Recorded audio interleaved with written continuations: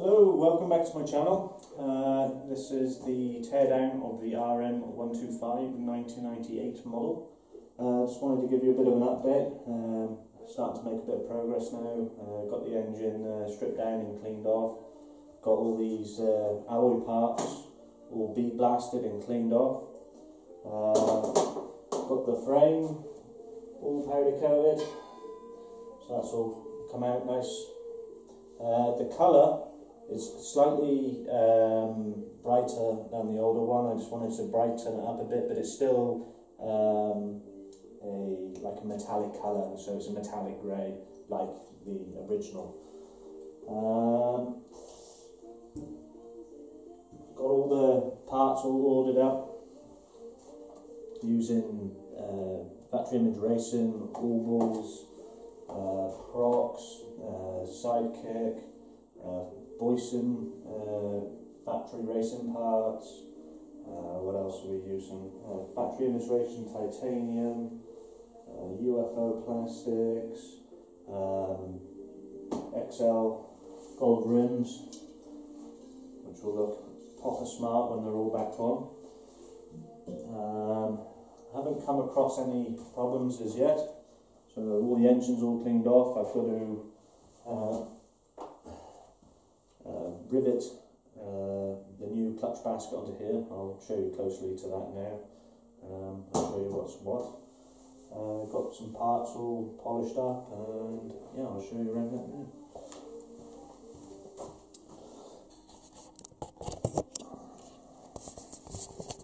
So these are the parts all being cleaned up and uh, blasted. So these are the hubs looking brand new. So we'll get some new bearings in there. Um, rear pedal lever polished up nice. Rear linkage housing, kickstart looking like new. Link bars, chain adjusters, and then the swinging arm has all been cleaned off and the same with the rear subframe. So this should all look very nice when it's all back together, like my Workhorses does.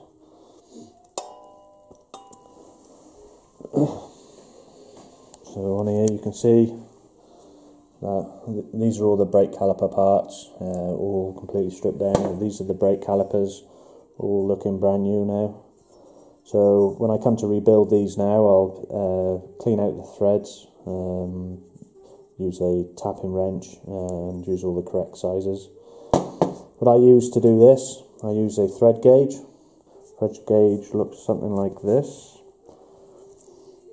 And you've got all the different teeth on there and then you can read the uh, the size on there, so like 1 mil, 1.25 um, and then you would use a verniers to measure the outside to determine what thread it is. So it would be M8 by 1.25 or etc.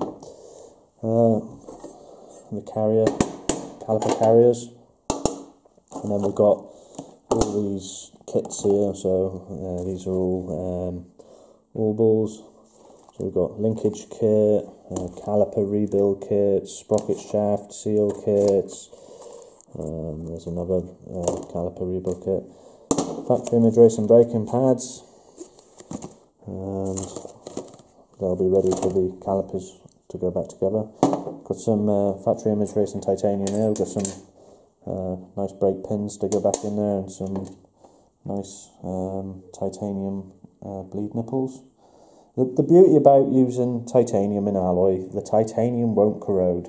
That's what's so great about it. Just a little bit of uh, fine copper grease and um, stick them back in. And it just stands out and looks clean and tidy. Uh, the engine, got the engine all cleaned off now. So we've just got to put some new seals in it and put the stator back in it. Fit a new piston and small end and new gaskets. Uh, I've got to put all the, the clutch basket back on there. Got the barrel all cleaned off and tidied up. Cylinder head looking brand new. Give that a bit of a polish up. And then there's the other cases for the other side. All looking very nice and tidy. And then here's the parts we're going to stick back on the engine. Got these Boyesen uh, factory racing covers, ignition and clutch. We've got a Boyesen reblock assembly, new reed valves, brighten it up a bit. And then we've got a, a Prox Racing clutch basket. So what we've got to do here, so this is the, the old one.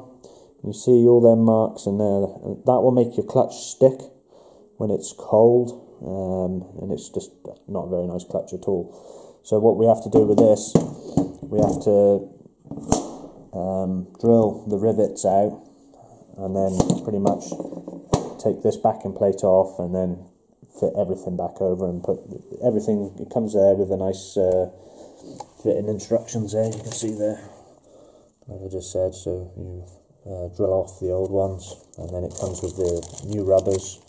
Um, um, socket there for putting the new um, screws in it to hold the clutch basket on. We've got a Prox Racing outer um, clutch uh, pressure plate, Psychic Racing uh, clutch, um, Miss Racing uh, lightened front sprocket, and then we've got the old parts there. I'll put a, a Wiseco piston in it. Uh, there's all the old parts down in there. Is the frame. Looking nice and tidy. And the forks there being cleaned up. So these forks were previously been rebuilt two years ago but never fitted to the bike. The bike has been sat for two years in pieces. So I've been given the task of putting it all back together. Got some uh, new radiators there.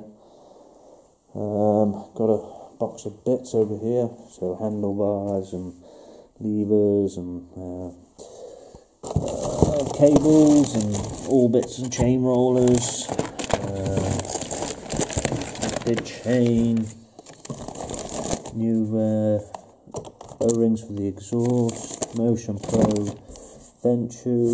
factory image racing levers, for bars, race tech handguards, and high flow filter.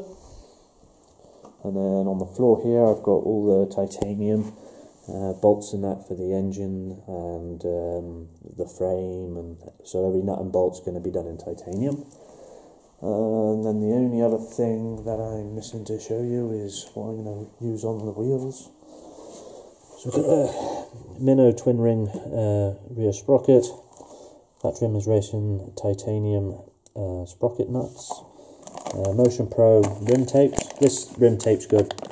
Um, you know, it, it doesn't slip and it just withstands a lot more. So I've used it before uh, and it works well. We're putting a set of Moto-Master flame discs. Nice discs. Let's get them out here so just show you.